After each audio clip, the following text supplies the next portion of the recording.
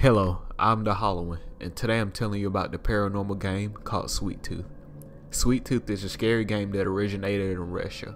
The ritual involves summoning a gnome that will eat your chocolate. You need at least two people to play this game. The more people you have, the better.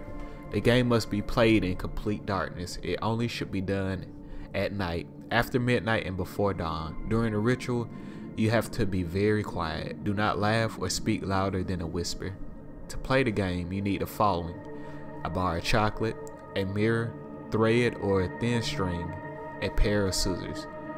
Step 1 Take the mirror and place it on the floor directly underneath the light in the ceiling. The mirror should be facing up. Step 2 Tie a long thread around the bar of chocolate and suspend it from the light above so that it is just hanging over the mirror but not touching it.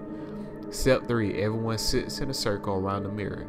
Every person in the room must play. If someone doesn't want to play, they have to leave the room until the game is over.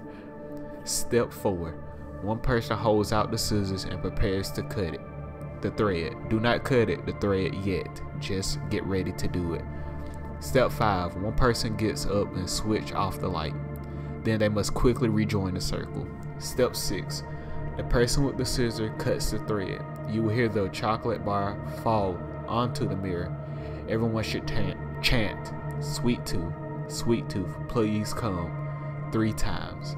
Step 7 Everyone must remain silent and wait. Soon you will hear rustling no a rustling noise. It is the sound of the gnome unwrapping a chocolate bar. Wait until the rustling sound stops, then slowly count to 10. Step 8. One person gets up and switches on the light. There are several things that may happen. 1. The gnome may eat the chocolate. 2. The gnome may leave teeth marks on the chocolate or bite marks. 3. The gnome may leave a present of more chocolate for you. This ritual is very low risk, but you have to be careful to obey the rules. If you don't, the gnome could bite you or escape from the mirror into our world. If the gnome escapes, they say it will hide in your house and bite your toes when you sleep. If you enjoyed this paranormal game, please like, subscribe, comment, and share. They will greatly be appreciated. And welcome to the void.